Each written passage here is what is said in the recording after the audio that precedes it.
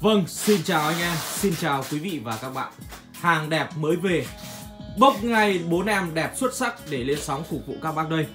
Đây là một trong những mẫu lọc cực kỳ quen thuộc với cửa hàng Minh Audio Dome Hà Nội trong những năm vừa qua. Nó không phải là mẫu lọc đẹp nhất của Hàn Quốc Bởi vì nó vẫn xếp sau mấy cái mẫu lọc là LG 7700 hoặc 8300 hoặc là A Nam 6600 nhưng nó cũng nằm trong top đầu của những mẫu lọc hàn đẹp. Đẹp và hay, Em nó sẽ có được điều đó. Và chất âm. Tôi đã bán con này rất nhiều. Các bác có thể tham khảo rất nhiều video của cửa hàng tôi. Đăng những năm vừa qua. Hôm nay cửa hàng có được 4 con trong cái lô lọc hàn mấy chục con về. Thì bốn con cùng loại đăng lên để anh em tham khảo. 4 triệu 2 nhưng sẽ để giá 4 triệu đồng cho anh em chơi Tết. 4 triệu đồng, Màu vàng chanh anh em nhé còn lầu màu vàng đen à, màu đen sẽ có giá từ 3 triệu rưỡi đến 3 triệu 8 tùy theo mẫu đẹp hay không đẹp. Hai đèn hai bên. Lọc có hai đường tín hiệu vào, đó là đường line và đường tép. Đèn nháy hai bên. Màu vàng chanh.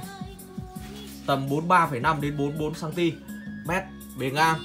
Các bác có thể uh, đến cửa hàng theo địa chỉ trên tấm biển này hoặc là xa đặt cọc tiền cửa hàng sẽ gửi đi cho anh em bề cao nó phải tầm 12 cm bề sâu nó tầm à, uh, 25 hơn 20 22 đến 25 cm tôi sẽ nói qua về các chức năng trên mẫu lọc này.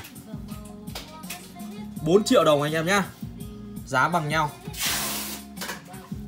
Nó có hai đường vào tín hiệu. Anh em bấm vào đây nó sẽ ra đường line và đường tép này. Bấm vào đây.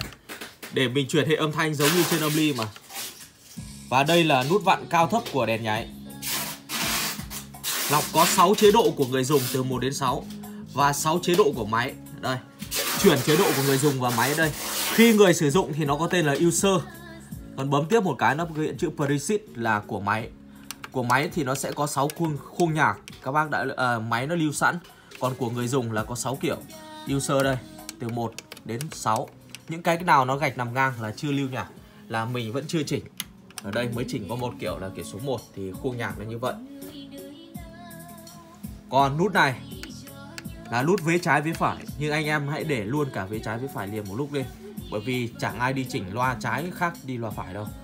Còn nút này là nút đi fit, Có nghĩa là có lọc và không có lọc. À.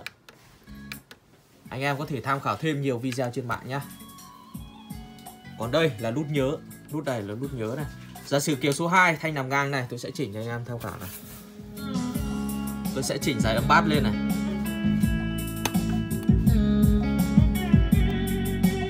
Khi mình để cả vế trái vế phải thì ấn một phát nó lên, cả hai đèn hai bên.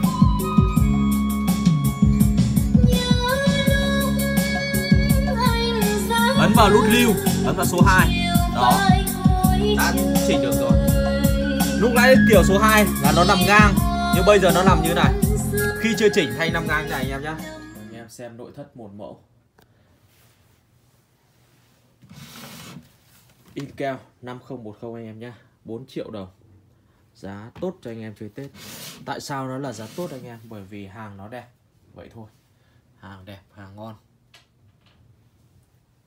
Góc cạnh là đẹp, nước sơn là đẹp. Đó. Bên trong. Sạch sẽ, đẹp. Và đồng màu.